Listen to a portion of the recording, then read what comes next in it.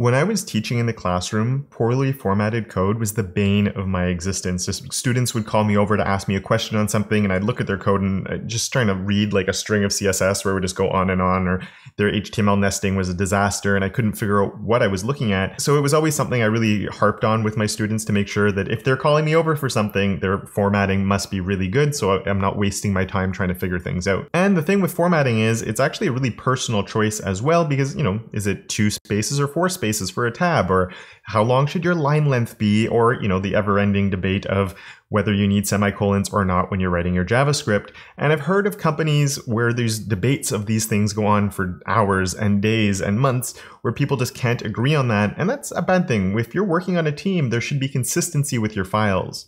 But the thing is I don't think we should actually be making those decisions ourselves, and I don't think we should actually be taking the time to bother about formatting all of this ourselves when we have tools that can do all of that for us. Hello, my front end friends, and welcome back to yet another video. I'm glad that you've come to join me once again. And if you're new here, my name is Kevin, and here at my channel, we learn about how to make the web and how to make it look good with weekly tips, tricks, and tutorials. And this one's less about making things look good on the page and more about making your code consistent and well formatted and looking good while you're in your editor. A complete waste of time to be having these endless debates on the best way to format, whether it's two or four spaces or line length or whatever it is. And I also think it's a waste of time to actually be going in and manually be doing the formatting yourself when we have tools out there that can both make those decisions for us and do the formatting for us. And one tool that can do that is Prettier. So in this video, we're going to be looking at how we can get Prettier installed on our system and configured. We're also going to see how we can have it set up for global settings for project to project to project, as well as how we can have individual configuration files for individual projects. So if you do have a team of people working on a project and everybody has a little bit different of preferences set up, that one project will be following that configuration file rather than the global settings and there'll be consistency throughout the project. So just really fast, here I am in VS Code, and we're going to be spending some time in here on this, and just to show you a little bit of what Prettier can do, and it works across a whole bunch of languages. Uh, but you can see here I have this non-formatted section here with the nestings all weird and stuff, and if I hit save on that, automatically it's all formatted for me. And then if I go over to my JS file, again, things are a bit of a mess here. I can hit save and it fixes all my formatting for me. And of course, a CSS file over here uh, where I've put all of this in a string, or I did like my students always did with this just running line that goes on forever. I hit save, and just like magic, it formats it for me. Now, Prettier is not limited to only HTML, CSS, and JavaScript. It supports just a ton of files that you can see on the screen right now. So just know that it's not limited to HTML, CSS, and JavaScript, even though that's what I'm going to be focusing on in this video. Uh, but now we've seen how it can format things. Let's see how we can actually get it installed on your system. So let's start off by taking a look at the Prettier website, and it already looks pretty nice, I think. Um, but just one thing that's really important here, as it says right here, is it's an opinionated code formatter. So this is the idea with Prettier is really to take the decision out of the hands of your teammates and everything. So there's no debates going on and it just, it's making the decisions for us. And so let's just jump in and, and do it rather than having arguments and stuff. Uh, which is why it does only have a few options, but there are a few things that we can configure with it. So that's what we will be looking at um, as we go through on here.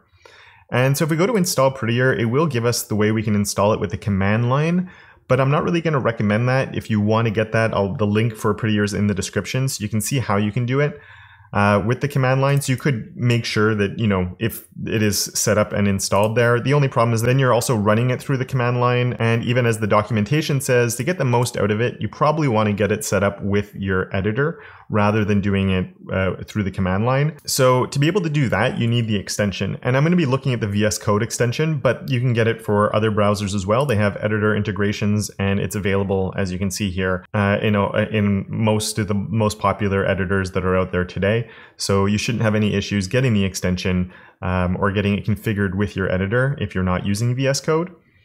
And so let's go back to VS Code since we are going to be doing this. And I'm going to do a Control Shift X to open up my extensions here. And we can look for Prettier.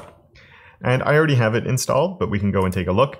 Uh, if you didn't have it installed, you just have a green install button there and you install it. And it's as easy as that really, but there is one important step that you take next once you've installed it. And that next step is to make sure that it's your default formatter because Prettier is not the only formatter out there. We want to make sure we're using uh, Prettier and we do that through editing the settings within VS Code. And you'll notice here it's talking about setting it up and you can definitely have different languages support and everything.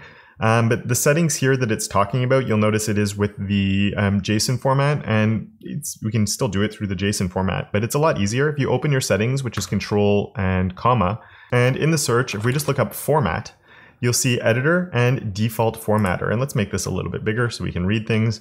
And you can choose from the one that you want to work. And you can see there's lots of different formatters here. Uh, I used to use Beautify. I've since switched over to using Prettier. And so with Prettier there, it's now the default one.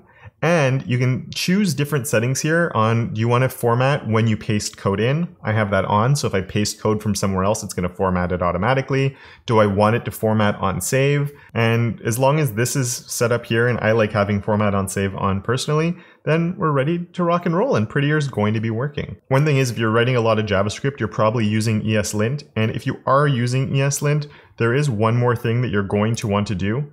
And it talks about that in their documentation, uh, where right there, ESLint and other linters. There is the ESLint um, Prettier that just makes ESLint and Prettier work well together. So let's head back to VS Code.